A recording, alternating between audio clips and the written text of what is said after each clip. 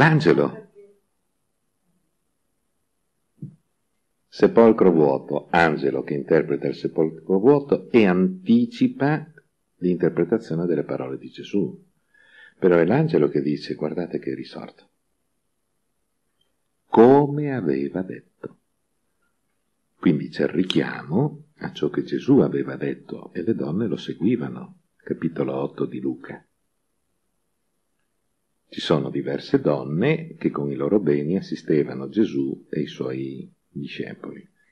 Queste due donne appartengono a quel gruppo, che lo seguivano sempre, quindi loro avevano sentito tutte le volte che Gesù aveva profetizzato la sua morte e insieme alla sua morte anche la sua risurrezione. Voi dite, beh sì, conosciamo le tre profezie della passione e resurrezione. Quelle sono elaborazioni tardive su un nucleo storico originale, ma noi abbiamo altri momenti in cui Gesù parla della sua risurrezione. Lo vedremo in, altri, in altra sede. Allora Gesù disse loro, e qui andate alla linea 74. Quel riquadro se notate, riporta le stesse parole dell'angelo. A sinistra avete l'angelo, a destra avete le parole di Gesù. In italiano purtroppo hanno tradotto voi non abbiate paura. Quel voi è enfatico perché mette in rapporto voi donne con loro guardie tramortite. Loro sono piene di paura tramortite, voi cercate di non aver paura, se no rimanete tramortite anche voi. Quel voi ha questo valore, ma se notate quel non abbiate paura, è lo stesso di non temete. Guardate il greco. Notate che è lo stesso verbo? Mefobeize. E non si capisce perché in italiano da una parte traducono non abbiate paura e dall'altro non temete. È lo stesso verbo, traducilo alla stessa maniera. Andate a dire ai suoi discepoli, andate ad annunciare ai miei fratelli. Da una parte questi traditori vengono chiamati discepoli lo stesso, Gesù addirittura li chiama adelfoi, fratelli.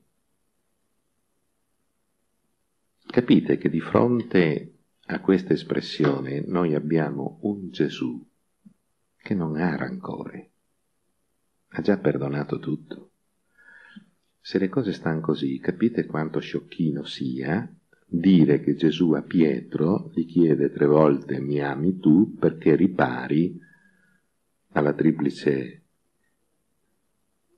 rinegazione. No, non è quello. Non è quello. Non c'è nessun rapporto fra il Gesù post-pasquale è il Gesù pre-pasquale tradito. Lui li chiama fratelli, punto, chiuso, non c'è altro.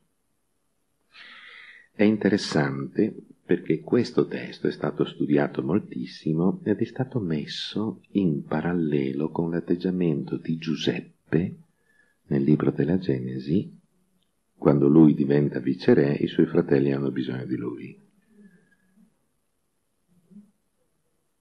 L'atteggiamento è lo stesso, nessuna vendetta, perché non c'è rancore, non c'è rabbia, non c'è niente da far pagare a nessuno. Quello che volevo farvi notare è che ciò che nell'angelo, le parole dell'angelo, sono semplicemente parole esplicative. Voi non abbiate paura, Gesù, non temete.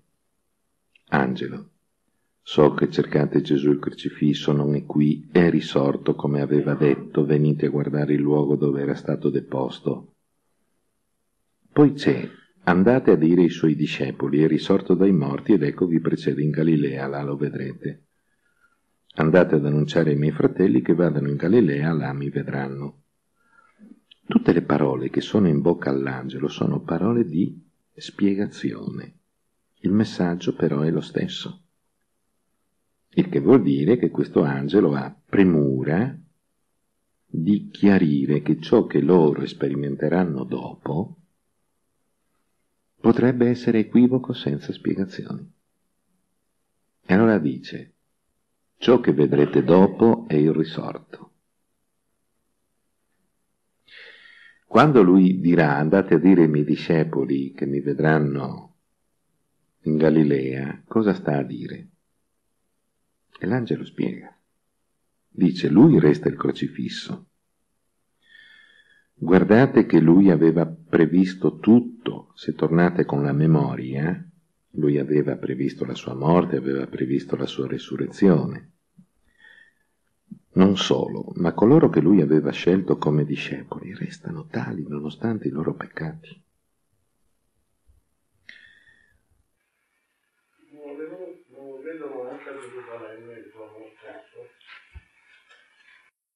Questa sarà una delle cose che noi dovremo affrontare quando faremo il Vangelo di Giovanni, la successione degli avvenimenti. Perché notate che per Matteo non esistono apparizioni a Gerusalemme per i discepoli. L'unica apparizione ai discepoli è sul monte. Non dite Tabor perché vi faccio una doccia gelata.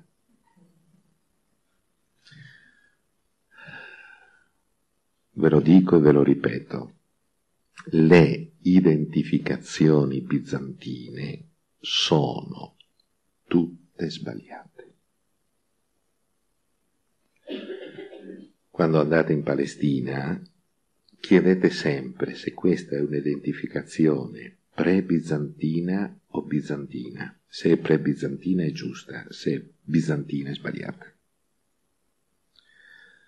Perché i bizantini sono arrivati e la prima cosa che hanno visto di bello hanno detto il Tabor. No, ma che ne sai tu? Non è scritto da nessuna parte. Chiaro? Quando io ho portato i miei amici al Sinai, a Santa Caterina del Sinai, prima li ho fatti salire, poi quando siamo arrivati su ho detto guardate che questo no, non è wow, mi avrebbero impiccato, perché la guida ci ha fatto alzare all'una e mezza di notte Abbiamo fatto su la salita tutta di notte in modo da essere lassù alle 5 e vedere il sorgere del sole, che è uno spettacolo unico. Ma per questi poveri diavoli sentirsi dire no, guarda che questo non è il Sinai, è stato uno shock anafilattico.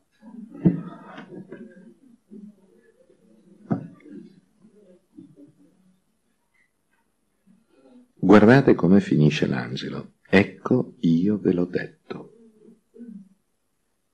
Quel ecco io ve l'ho detto è tipico del mondo sapienziale, non del mondo profetico. Il mondo sapienziale quando spiega qualche cosa di difficile conclude dicendo ecco io ve l'ho detto. Cioè tenete presente che quando avete qualche dubbio rifatevi a quello che io vi ho spiegato. Ecco io ve l'ho detto a questo significato. Nel dubbio, ritornate alle mie parole. Quando Gesù dunque incontra le donne, non ha niente da spiegare. Semplicemente dice quello che deve dire, ma l'angelo aveva già dato la chiave di lettura. Mentre avviene questo episodio tra Gesù e le donne, avviene un altro episodio, il che vuol dire che mentre le donne parlano con l'angelo, le guardie scappano. Queste guardie giunsero in città, parlano i sommi sacerdoti, quali trovano ovviamente la soluzione, con una buona somma di denaro.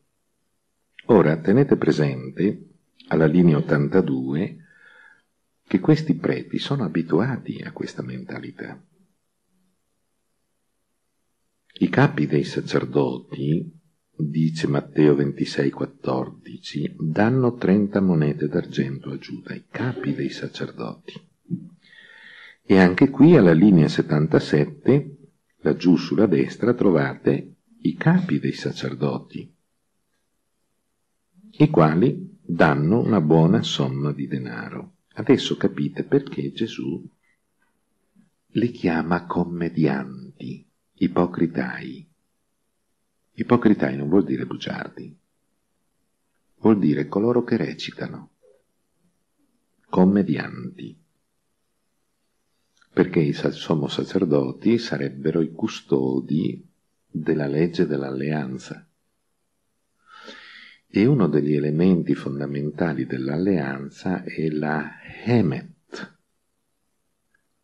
oltre che alla Cheset. La Cheset è la fedeltà, la Hemet è la trasparenza. E qui i sacerdoti sono esattamente il contrario della trasparenza. Per questo Gesù li chiama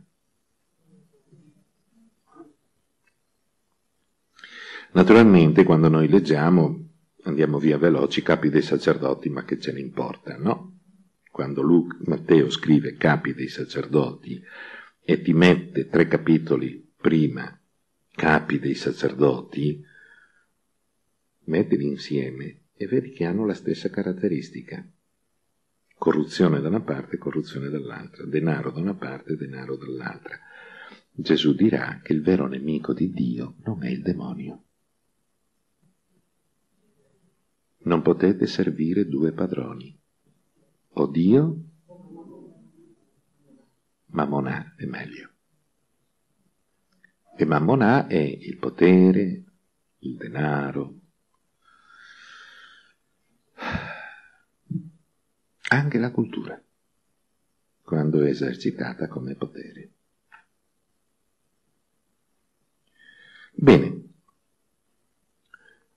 questi si riuniscono e dicono i suoi discepoli sono venuti di notte e l'hanno rubato mentre noi dormivamo. Già Agostino faceva ironia dicendo ma se dormivate come fate a sapere che erano i discepoli a rubare? Vabbè. Tenete però presente questo dato. La legge militare romana prescrive la pena di morte per chi dorme durante il turno di sentinella. Quindi i guai erano molti. Per questo loro dicono interverremo noi presso il governatore, perché era il governatore che doveva dare la sentenza di morte. Nessun altro poteva emettere una sentenza di morte nei territori occupati. Solo il governatore. E loro giustamente dicono, interverremo noi. È lo stile, ovvio. Bene, quelli presero il denaro, fecero secondo le istruzioni ricevute. Questo logos, voi notate la differenza qui tra il logos dell'angelo alle donne, di Gesù alle donne, e il logos dei sacerdoti ai soldati, dei soldati al popolo. Logos tutti e due, ma una è una parola di resurrezione e l'altra è una parola di imbroglio. Sono i due logoi messi in comparazione. Veniamo all'ultima fase, in tre minuti non riusciamo, ma non importa. Linea 87-88. Nella linea 88 soprattutto vedete due verbi.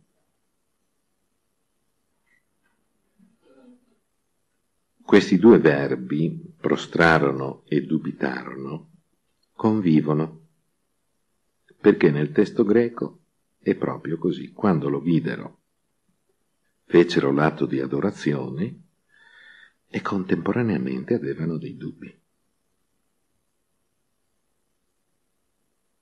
Questa è la fede. La fede tetragona, quella che non ha mai un dubbio, c'è il grosso pericolo che sia un'ideologia e non una fede. La fede ha bisogno di camminare, di approfondirsi, di allargarsi. e il dubbio è la spinta ad approfondire, ad allargare la fede. Se non c'è il dubbio, non c'è la crescita. Certamente il dubbio può essere adoperato in maniera sbagliata, perché quando il dubbio diventa corrosione, allora non ha più la sua funzione. Qualcuno dice, linea 96, Edistasan sarebbe un auristo, quindi è un fatto puntuale, hanno dubitato per poco. Sì, fermati, ma allora anche alla linea 95 Prosecchinesan e un auristo un fatto puntuale hanno adorato per poco. Non è un ragionamento che tiene, è invece una constatazione che la fede può essere benissimo accompagnata dai punti di domanda, però fede è e fede resta, nonostante i punti di domanda. Fatto sta che Gesù a questo tipo di persone dà il mandato.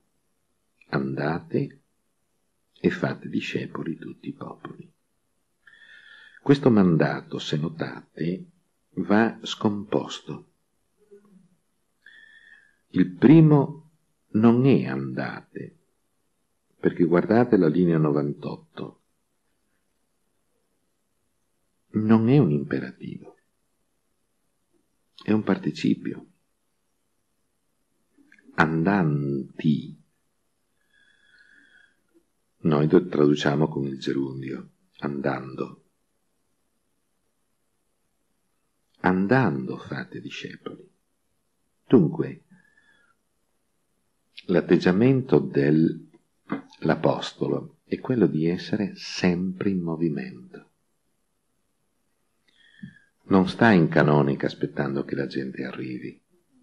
Esce dalla canonica e va incontro alla gente. Questo è l'Apostolo, perché la sua caratteristica è andante. E mentre va, allora fa discepole di Gesù tutte le genti, non sue discepole. Le genti non devono diventare discepole dell'Apostolo, ma devono diventare discepoli di Cristo. Chiara la differenza? Ecco, qui avete in mano una chiave per leggere anche i fenomeni socio-religiosi di oggi cristianesimo autentico è quello che prende le persone e le fa diventare discepoli del Maestro, non discepoli di chi predica. Seconda caratteristica, come si fa a far diventare queste persone discepole?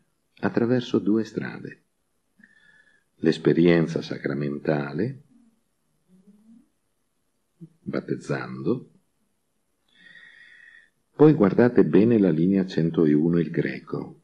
Didascontes.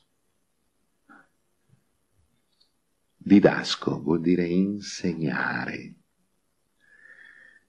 Non vuol dire far fare esperienza. Oggi c'è un equivoco. Bel equivoco anche se volete, positivo per certi aspetti. Al bambino bisogna far fare esperienza di fede. Va benissimo. Però il testo biblico dice didasco. E didasco vuol dire insegnare qui. Quindi va benissimo l'esperienza di fede. L'esperienza di fede rientra nell'ambito della sacramentalità perché tenete presente che i sacramenti sono sette, ma l'ambito della sacramentalità è tutto. Nel momento in cui voi fate la carezza alla persona a cui volete bene, quello è un segno che manifesta l'affetto. Che cos'è il sacramento? un segno della grazia. Quindi la sacramentalità è molto più ampia dei puri sette sacramenti e quindi l'esperienza che si fa fare al bambino rientra nell'ambito della sacramentalità. Ma il didasco?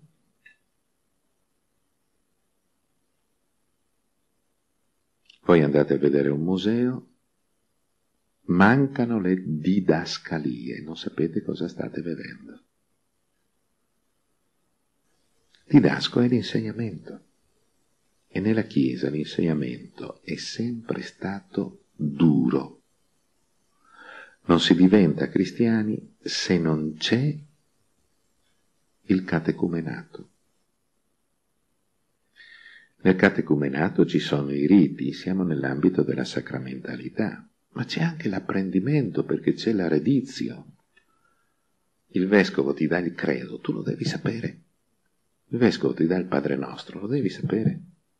Il vescovo ti dà i dieci comandamenti, li devi sapere. Sì, oggi abbiamo dimenticato questo.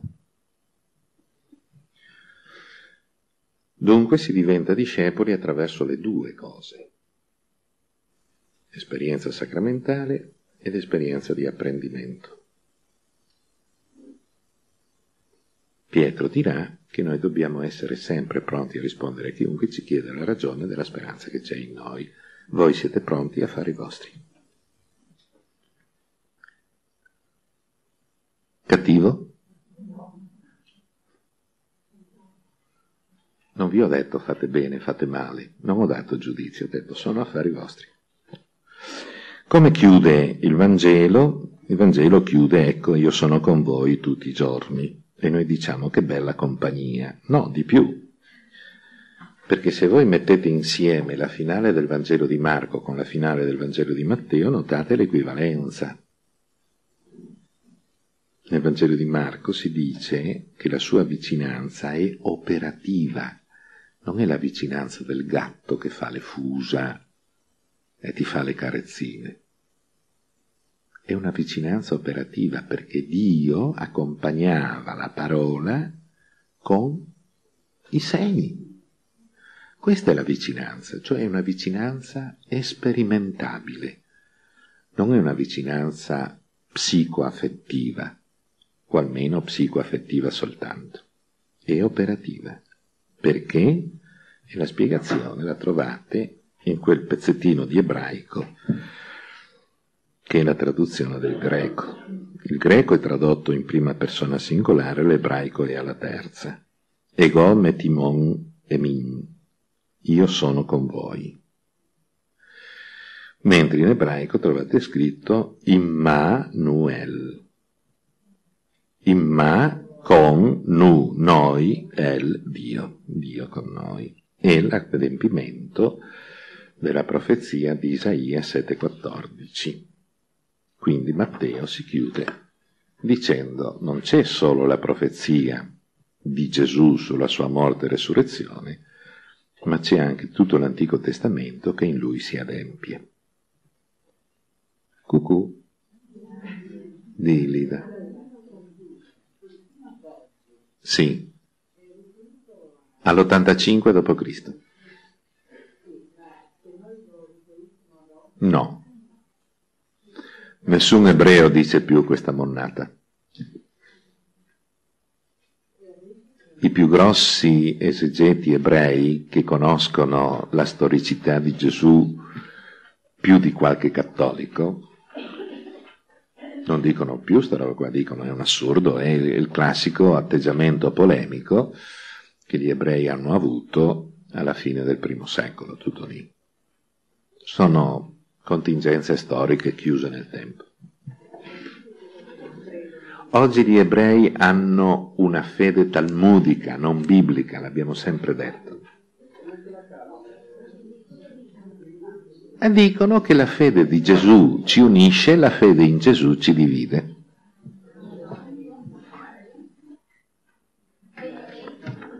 Come? In che senso l'avvenimento? L'avvenimento loro lo,